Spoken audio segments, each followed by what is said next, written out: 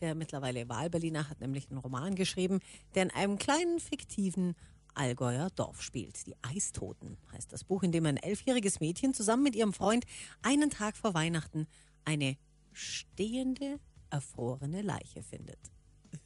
Gruselig, wie friert schon. Im Roman gibt es keinen Kommissar, nur das kleine Mädchen. Und was so faszinierend an dieser Geschichte ist, weiß der Autor Christian Buder natürlich selber am besten.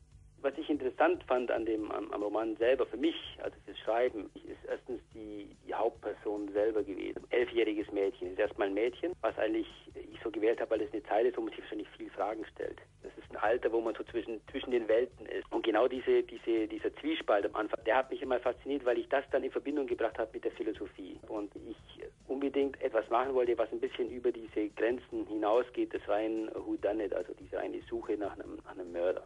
Ja, und da ist schon was dran. So dieses kindliche Hinterfragen beantwortet manchmal die schwierigsten Fragen im Alltag am allerbesten. Die Eistoten auf der Frankfurter Buchmesse, also eine spannende Sache. Übrigens, der Roman soll der erste in der ganzen Reihe sein. Schon im nächsten Jahr erfahren wir, wie es weitergeht, wenn das kleine Mädchen größer wird. Und was passiert mit so einem Hit, wenn er groß wird, wenn er ganz groß wird? Ja, dann wird er auch noch viele, viele Jahre später im Radio gespielt. So wie der hier von Corey Hart. Sunglasses at Night, 1984 ein Hit.